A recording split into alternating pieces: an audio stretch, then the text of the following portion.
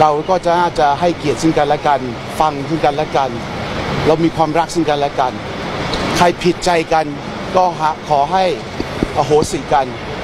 หันเข้ามาหากัน ผมสำนึกในพระมหากรุณาธิคุณของสมเด็จพระเจ้าอยู่หัวสำนึกในพระคุณของประเทศชาติ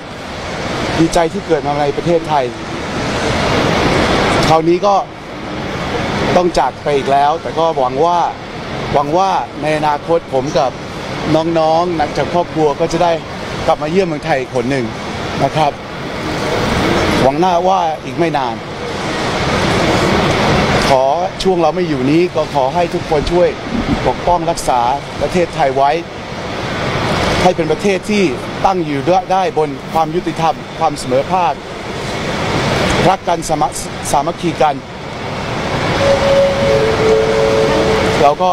หวังว่าจะมาใหม่ในเร็วๆนี้นะครับ แล้วก็แล้วก็อ่าคราวหน้าก็